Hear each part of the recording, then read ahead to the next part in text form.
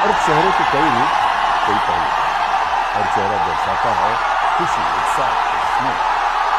दोस्तों धूम फोर को लेकर काफ़ी ज़्यादा चर्चा हो रही है और धूम फोर के ऊपर अमिताभ बच्चन का बहुत ही बड़ा बयान सामने आया है। जी हाँ दोस्तों, और आप सभी को बता दूँ कि उनके बेटे अभिषेक बच्चन भी धूम फोर का हिस्सा बन सकते हैं। इस विषय में बात करते हुए अमिताभ बच्चन कहते हैं कि धूम फोर निश्चित रूप से शाहरुख खान के साथ ही बनेगी और शाहरुख खान इस मूवी के लिए काफ़ी ज़्यादा एक्साइटेड नज़र आ रहे हैं और उसी के साथ ये भी खबर निकल कर सामने आ रही है कि fighter movie director Siddharth Anand ने धूम फोर को स्क्रिप्ट को दिखा चुके हैं। अब उसकी जो है पूरी तैयारियाँ किया जा रहा है।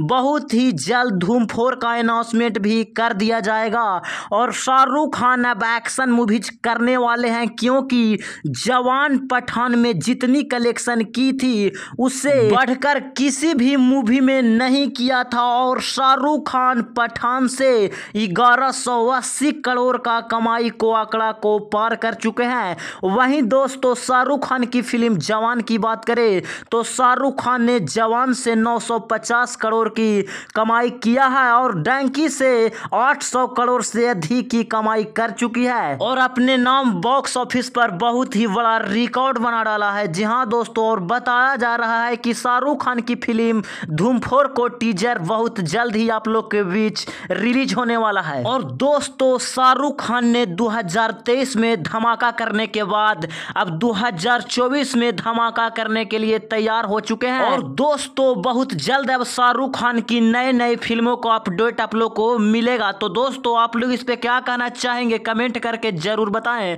और दोस्तों, इसी तरह को फिल्मी अपडेट को देखने के लिए आप अपने इस चैनल को सब्सक्राइब, वीडियो को लाइक ज़रूर करें।